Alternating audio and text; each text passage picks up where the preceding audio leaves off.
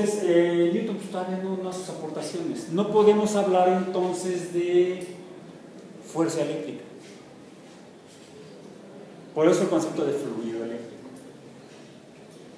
Eh, de hecho, eh, la, palabra fuerza sí existe, desde, hecho, desde, desde, los trabajos de Aristóteles, pero el concepto es distinto al que tenemos ahora.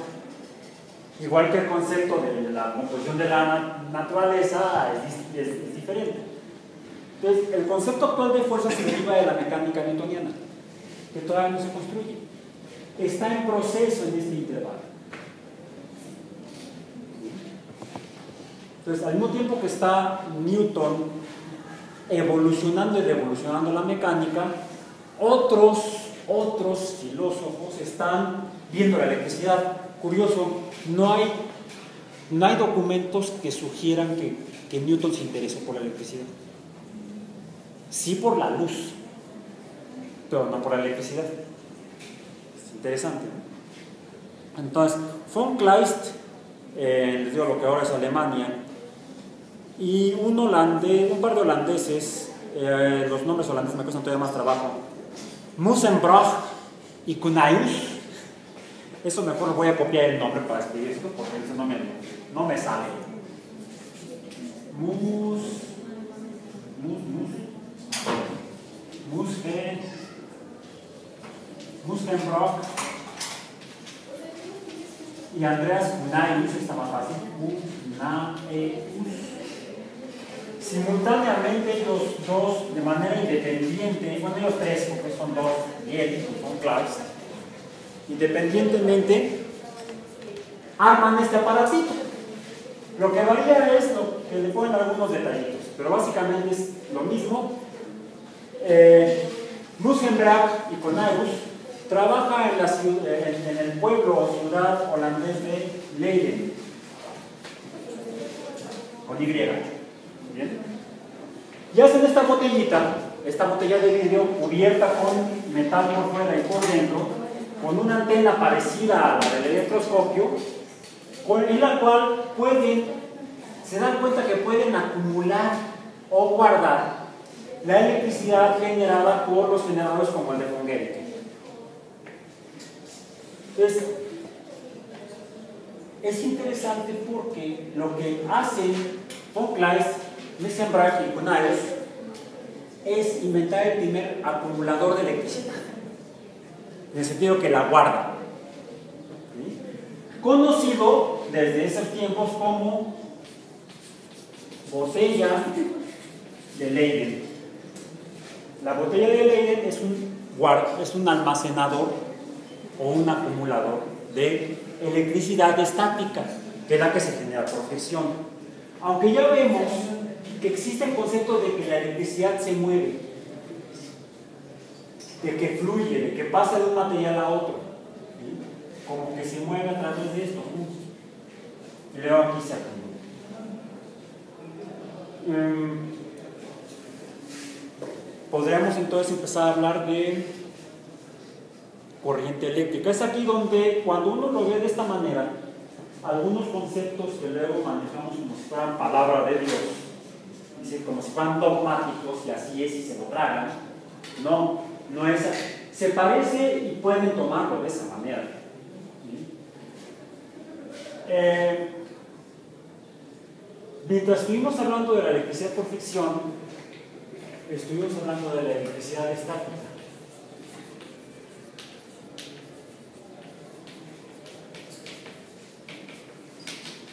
o electrostática.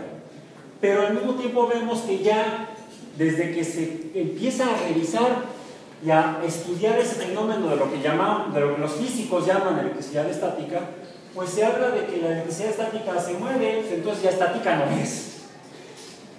O eso no es. No, digamos que se puede acumular la electricidad, se puede quedar guardada en algún lugar y luego desplazarse, transferirse, moverse, conducirse. Podríamos hablar de conductividad eléctrica. Y la conductividad eléctrica pues, podría ser ahorita, tratando de concebirla a partir de estos antecedentes, como el movimiento de electricidad. retomando y saltando un poco históricamente hacia adelante, este, pues sería el movimiento de eso de la electricidad vitria o resinosa que Franklin les cambió el nombre. Por cierto, encontré, ya lo revisé bien, y el nombre, pues estaba yo hecho camotes hace rato, el, nombre de electricidad eh, vitria y resinosa fue planteada, a ver, en este intervalo, por ahí del 1734 aproximadamente, por un francés Charles Dufay, Dufay, Dufay es quien, eh, al revisar los materiales con los cuales se produciera electricidad y, en cuáles había reproducción, en cuáles había atracción, lo que hemos visto en las pasadas, Charles Dufay define los dos tipos de, los dos tipos de electricidad, así lo mencionamos. Vítrea y resinosa. Bien, 1734, 1600, no, 600 antes de nuestra era, el concepto de electricidad, portales del billeto, un tanto se pierde en la historia, lo rescata Gilbert 1600, inventa el electroscopio, eh, eh, von, Guericke en 1650 hace su generador eléctrico de electricidad por fricción, es usado este tipo de generadores por von Kleist, Misheim Brack y Conarius para almacenar esa electricidad en la botella de Leiden y esa electricidad que Dufay en ese intervalo llama de dos tipos de electricidad. Vitria, la que se produce por fricción en el vidrio, y resinosa, la que se produce por fricción en el ámbar. Eh, Correcto. Eh, en la misma época ya eh, vive Benjamin Franklin. Benjamin Franklin nace en 1706, quiere decir que ya para cuando Dufay llama a la electricidad vitrea resinosa, pues Franklin ya tenía casi 30 años, tenía 28 años. Aunque vive del otro lado del charco, Dufay vive en Francia, Franklin vive en los estados, en las colonias americanas del Reino Unido. Y eh, Franklin es inicialmente un impresor. Es periodista. De hecho es meteorólogo. Publicaba una que se llamaba El Almanaque de Filadelfia. Y ahí lo que decía, el tiempo ha estado lluvioso. Hacía un recuento todos los días, observaba la naturaleza. Es importante esta, mencionar esta característica de, Franklin. Él era un observador de la Afortunadamente vivía, era una familia muy numerosa, entonces como todos trabajaban, él se hacía loco a ratos y podía observar. Se requiere un poco de tranquilidad y calma para poder sentarse, sentarse así, mañana, en la tarde y ver, ver, observar la naturaleza, observar el cielo, observar el panorama, y se aprende a observar. Y se aprende a describir y se aprende a distinguir los elementos, componentes que hay en lo que uno observa. Se puede uno dar cuenta si las cosas cambian o no cambian. El hecho de sentarse a observar no es sentarse a perder el tiempo.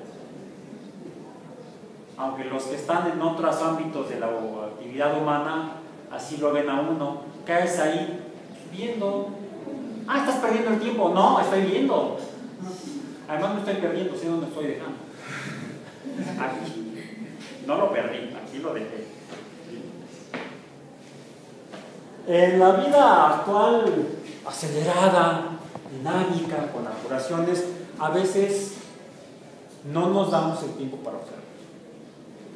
Si ustedes quieren ser científicos, deben aprender a observar. Y explíquense a, explíquenle a su familia, a sus amigos, que, no estoy perdiendo tiempo, estoy, estoy formándome como científico. Ah, es que se dedican a perder el tiempo.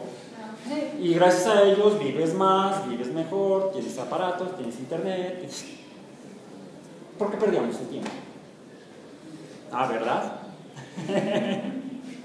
Correcto.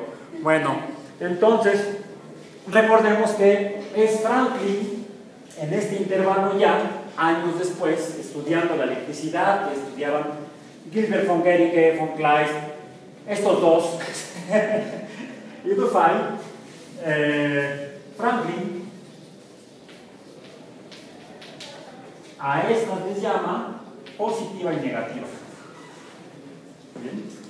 Entonces, ¿qué es lo que sucede o qué es lo que hay cuando se usa la de Leiden para acercarle un generador por fricción? Que estoy de alguna manera acumulando, guardando, guardando probablemente cargas negativas adentro de la botella. Cargas resinosas dirían antes de Franklin. Bien. Y cuando yo me acerco por acá, ¿qué es lo que sucede? Pues que si hay condiciones apropiadas, estas cargas van a saltar a nivel. A veces a través del aire. Entonces, vemos que hay materiales que permiten el paso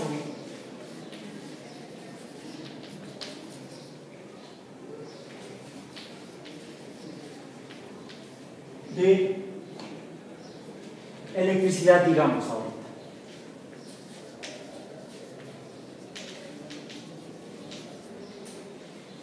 Estos son los conductores.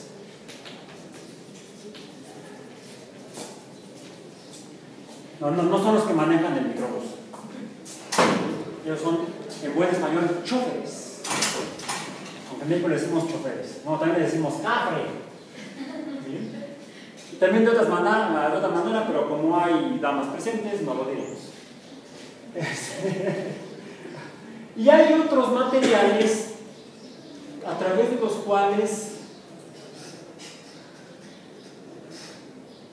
no pasa la electricidad, o al menos no fácilmente. Pongamos de manera extrema, no, esto dejemos así en un marco, no permiten, permiten el paso de electricidad. Estos son aislantes o en términos físicos más apropiados, siglo XXI, dieléctricos. Un dieléctrico es un material que no permite el paso de electricidad. En el concepto de Gilbert, el flujo de electricidad. concebía Gilbert que era un fluido.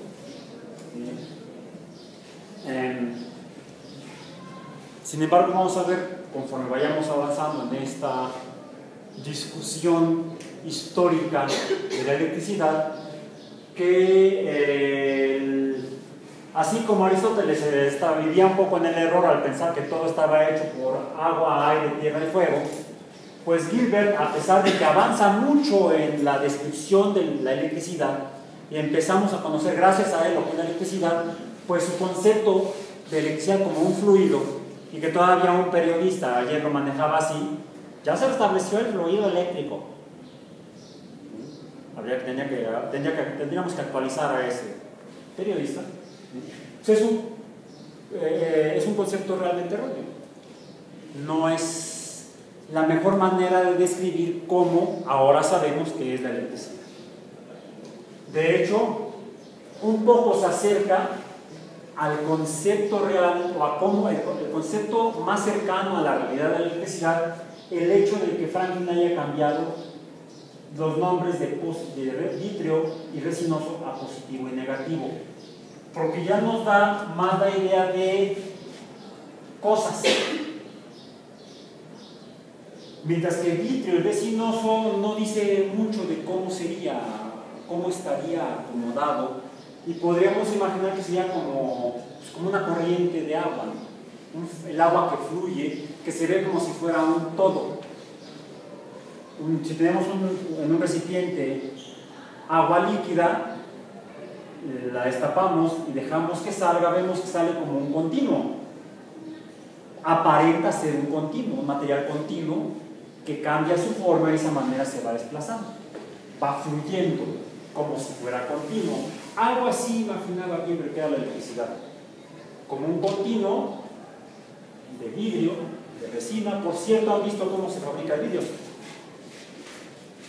¿O han visto cómo se manipula el vidrio? No sé si han tenido la oportunidad de ir, por ejemplo, a Guadalajara, a Tlaquepaque, y ver cómo hacen este, los artesanos de allá las figuritas de vidrio, de adorno.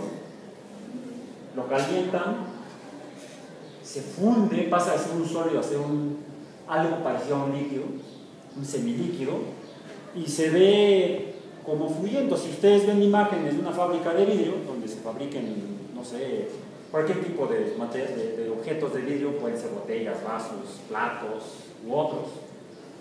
En grandes hornos está el vidrio fundido, en estado semilíquido, y de ahí se vierte como un fluido a los, eh, para el proceso de la formación de los productos que finalmente van a, a, fabricar. Se maneja mucho ese concepto y quizá pudiéramos pensar que podría haber imaginado así Gilbert, este, el mismo Dufay, a la electricidad como un fluido vítreo o resinoso. Em, bien. Entonces estamos ya por ahí de los 1700,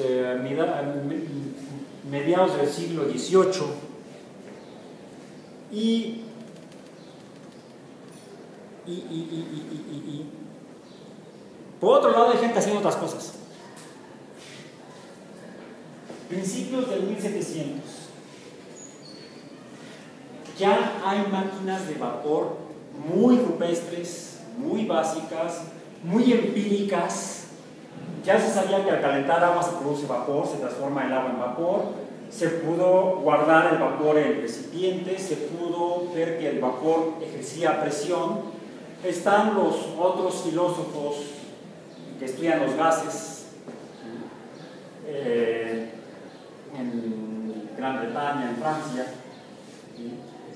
Charles Mariot, eh, más adelante va a haber otros, eh, estudiando el comportamiento de los gases y se ve que tienen capacidad de,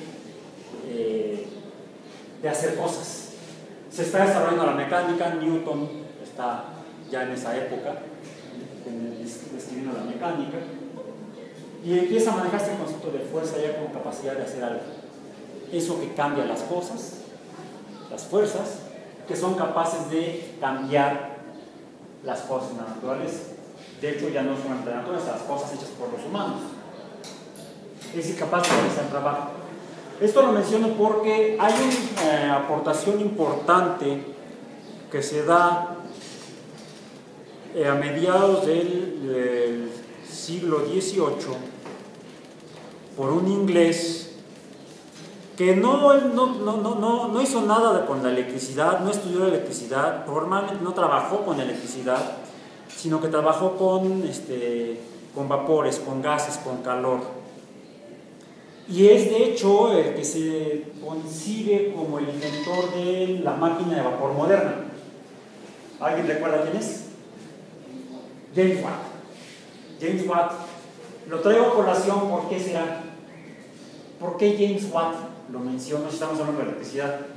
Debí mencionar la termodinámica, probablemente no tenía mucho caso, porque la termodinámica la orientamos más hacia la comprensión del el concepto de energía y los, eh, las transformaciones de la misma energía en la naturaleza. Nos enfocamos más bien ya a las etapas finales de la termodinámica y no a, a sus raíces que están en el estudio de los gases. Por eso no mencioné a Watt en ese momento, pero lo traigo a colación ahora. ¿Por qué? ¿Por qué imaginan que ahora que estamos hablando de electricidad, traje a colación a Watt? ¿Por qué será?